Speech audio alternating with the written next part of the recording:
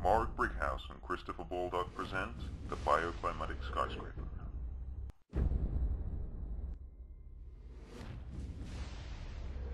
Canary Wharf, a banal collection of monoculture towers, inefficient gas guzzlers of the 20th century, busy by day, deserted at night, yet the lights blaze away.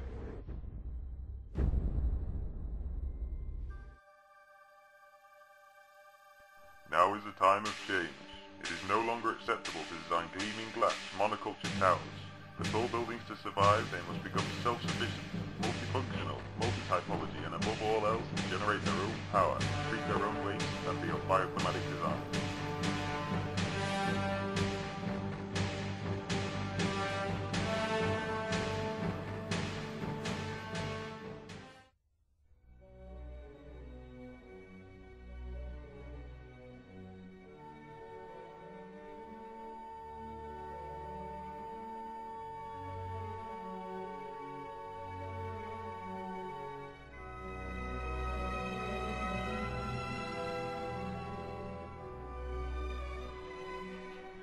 How does one articulate a vertical street?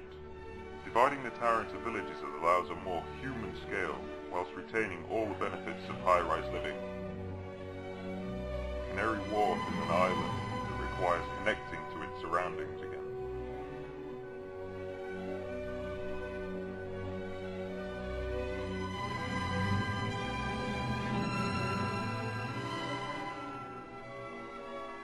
Must become multifunctional and multi-typological. We have chosen to include a high school to encourage more families to return to Canary Wharf. With families and children comes a heightened requirement for gardens, greenery, and places to escape city life.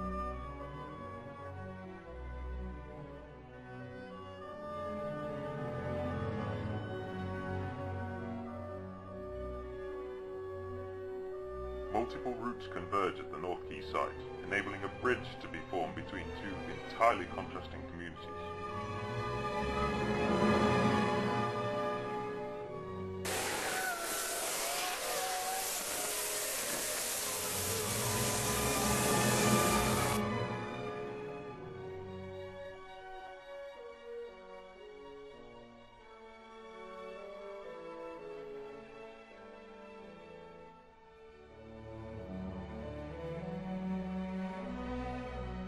Sky Gardens enhance the health and well-being of all inhabitants.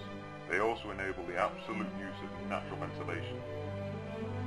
Sky Garden positioning will be combined with the placement of vertical axis wind turbines throughout the upper regions of the tower. The school is located at the base with two residential towers and one office tower twisting above. Public realms will be located on the ground floor with bars and cafes, and a wind farm with gardens at the top.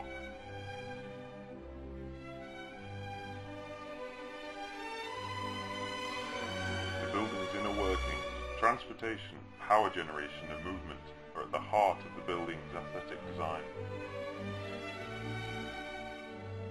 It is essential for inhabitants and bystanders to see how a bioclimatic skyscraper really performs and operates if there's to be any hope of changing our lazy, somebody else's problem attitude towards climate change.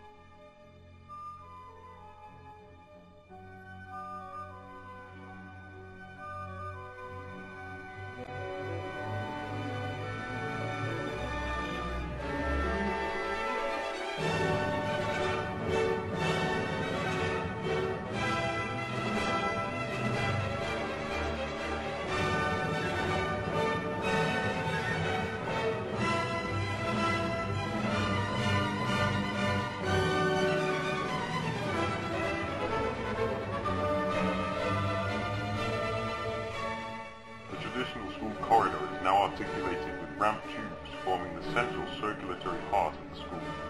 For security reasons, these tubes can only be accessed by passing through fast lane security barriers on the ground floor.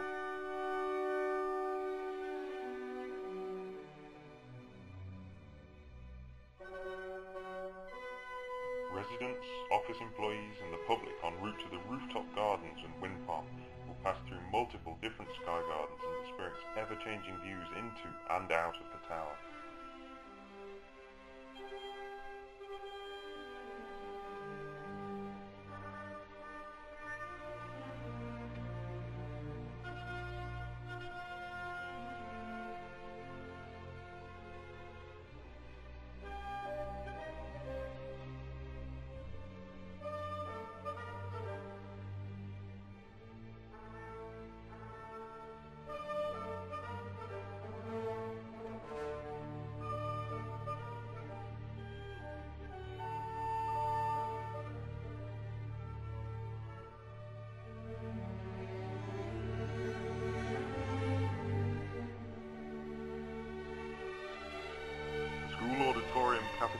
Sports facilities are located on the lower ground floor, but kept private from the promenade bars and restaurants during school hours.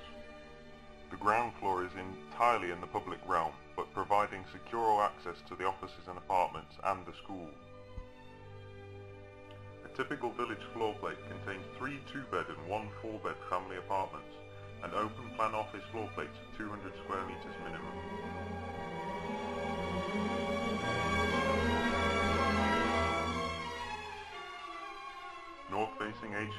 gather maximum ambient light to the offices. Recycled polycarbonate walls of the residential towers will be clad with PV panels on the south-facing elevations.